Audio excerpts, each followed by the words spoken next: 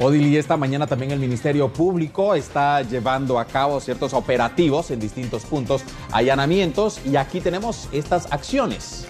Así es, eh, justamente lo que tú mencionas, Gadiel, celulares y memorias externas es lo que está encontrando y que estará incautando la unidad contra la pornografía infantil en esta unidad del Ministerio Público para el seguimiento de la investigación. Justamente fiscales de esta unidad están pues coordinándose para hacer capturas correspondientes de presunto pederasta. En este caso se habla de Eduardo Castellanos Chacón y por ello se están realizando allanamientos en jurisdicción de Chinautla. En esta mañana vemos ahí las imágenes que nos brinda, por supuesto, el Ministerio Público sobre la coordinación que están realizando en esta mañana, Gabriel, para llevar a cabo estos allanamientos y culminar con la captura de esta persona que hemos mencionado, Eduardo Castellanos Chacón.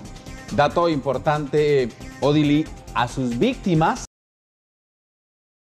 redes sociales, las buscaba a través del Facebook y el capturado por trata de personas contra menores. Y recordemos que la Fiscalía de la Unidad contra la Pornografía Infantil han estado coordinando esta captura de este presunto pedrastra, eh, Eduardo Castellanos Chacón, de acuerdo con los fiscales, fiscales de la denuncia que ingresó a la Fiscalía contra la Trata de Personas el 12 de enero de este año. La investigación preliminar corroboró que Castellanos realizó una oferta de empleo, escucha bien, una oferta de empleo a un menor de edad a través de Facebook. Acciones de la Unidad contra la Pornografía Infantil permiten la detención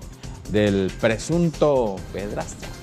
terrible realmente y aparte de esto, lo que va surgiendo con esta información, Gadiel, es justamente el tema que tú mencionabas, del peligro que resulta ser que un niño que no tiene a veces conocimiento del peligro que hay en la calle, pues lamentablemente es contactado por personas sin escrúpulos, como en este caso Castellanos, que ahí mismo lo contactó y a través de él se ubicó esta persona y este niño quedó vulnerable, por supuesto, a sus malas intenciones. Así que es un llamado de atención a los padres de familia para estar muy atentos a lo que sus hijos están viendo en las redes sociales, a controlar con quienes se comunican a través de mensajes eh, inbox, como se suelen eh, llamar en esta red social y en cualquier otra red social para evitar que sean víctimas, pues inocentes, de personas que se dedican justamente a la trata de personas. Fíjate que tú mencionas datos muy importantes que llaman la atención y los llamados a los padres de familia, porque al momento que los niños, los menores tienen redes sociales, le abren la puerta no a un pequeño mundo, le abren la, puerta al mundo completo.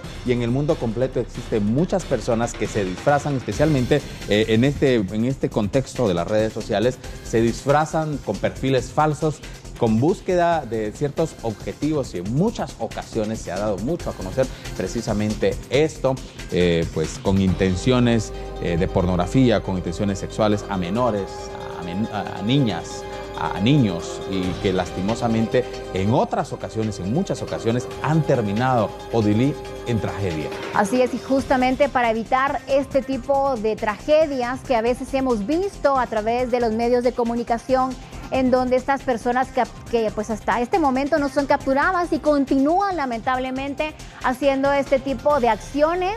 en contra de jóvenes, niñas y niños que pues son inocentes, no saben de la maldad que persiste en las redes sociales y lamentablemente pues a veces culmina hasta en asesinatos, en secuestros, en violaciones. Así que hay que hacer un llamado a los padres de familia para que tengan el debido cuidado sobre la utilización de redes sociales de sus pequeños hijos. Y sobre todo mucha comunicación con ellos y saber qué es lo que está sucediendo.